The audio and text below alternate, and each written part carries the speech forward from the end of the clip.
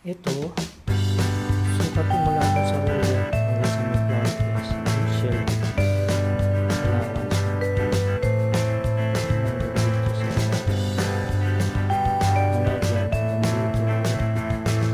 80 inches, 80.